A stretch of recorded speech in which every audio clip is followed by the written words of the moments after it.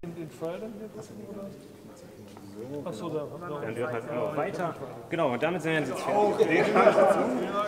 Aber da wollte man so höflich sein, das Ganze nicht. wir auch weitertragen können in die Region, über die über die Region hinaus. Was gibt es für Themen?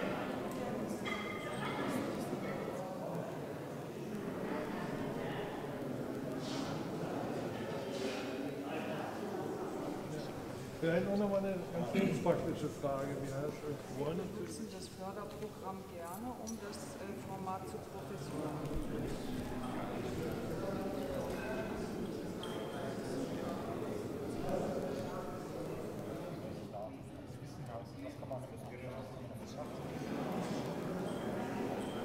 Und äh, in dieser Kombination, glaube ich, zeigen die Städte und zeigen die Menschen in den Städten auch das Potenzial, was wirklich in der Digitalisierung steckt. Und Sie haben das deutlich gemacht, Herr Baranowski, es ist nicht nur am Ende das, was für den Bürger herauskommt, sondern der Mensch steht für uns bei der Digitalisierung im Mittelpunkt.